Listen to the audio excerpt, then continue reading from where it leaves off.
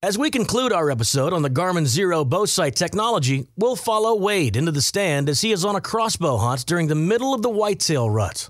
Our setup is a TenPoint nitro 505 and I've got a Garmin Xero on it. I've been a huge believer in the Xero technology, both in my compound bow and my crossbow. It just, it eliminates any doubt of an aiming point. It just gives you a precise point of aim every time you're pulling the trigger. When you use technology to your advantage, some people, some people are for it, and some people aren't, and I'm not here to preach or push any one thing. I'm just here to show you what I like. And with the Xero technology, there's a lot of features in there that just simply they make you better. And, and I'm not meaning that you know the technology is going to help me kill a deer. It's going to help me fix mistakes that I didn't even know that I was making. Aim, anchor points not hitting consistently on my compound bow.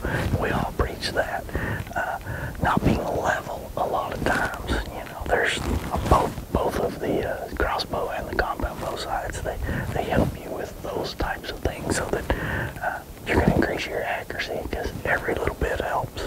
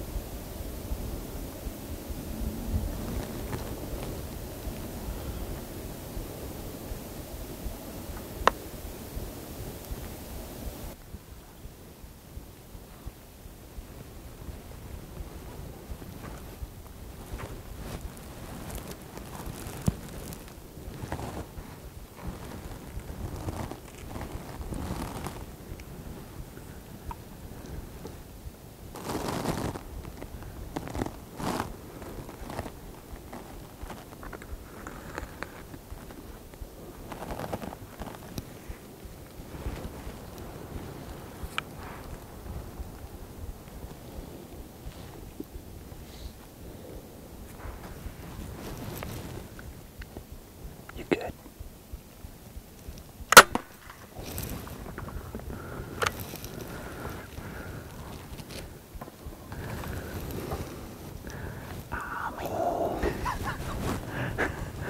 We hadn't been in here 15 minutes. Just climbed up in the stand. Did you see the brow tines on that deer? They go up and they go like this. It's so cool, both of them returned. He's tall, he's chocolate. You can tell he's a little run down from the rut, but he's ours, baby, because we just smoked him. I mean, that was 19 yards. I mean, that's perfect. And I mean, we just, this, the Nitro Xero combination. I mean, if you're a crossbow hunter, you want precision accuracy, this is the deal. Double lunger right there. that was awesome. Oh, pinpoint accuracy, baby.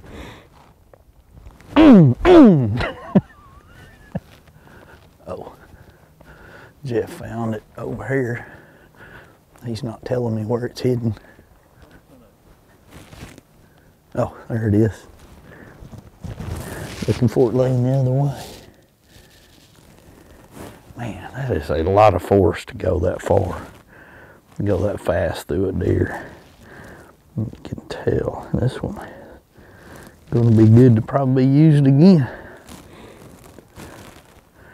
Got it right there. You can see a little bit of pinkness right there. I mean, as a total pass through. We looking at the video and how he ran off. It was a pure, pure double lung. I mean, this is this is going to be a one we'll be able to use again.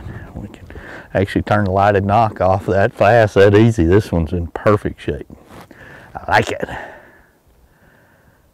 Right in there, starting to open up more. I think I see him. Yeah, you got it. Yep.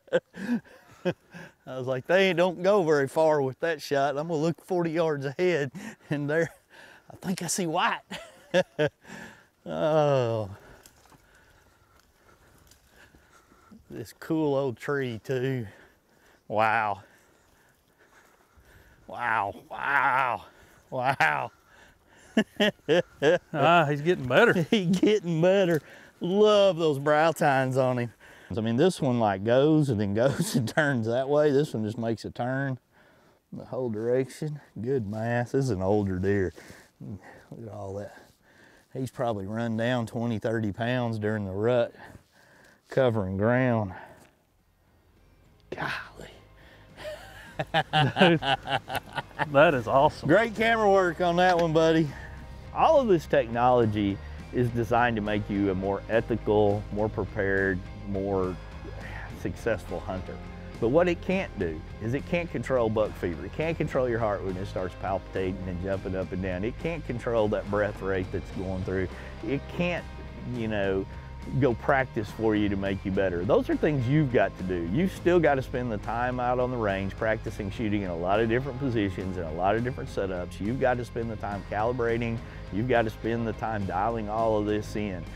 But when you do that and you've practiced and you've prepared and you can control all of those factors that are human by nature, when it comes time to squeeze the trigger on your crossbow or tap that release on your, on your compound bow, if you've controlled it all, I have a lot of confidence you're going to be happy with the results.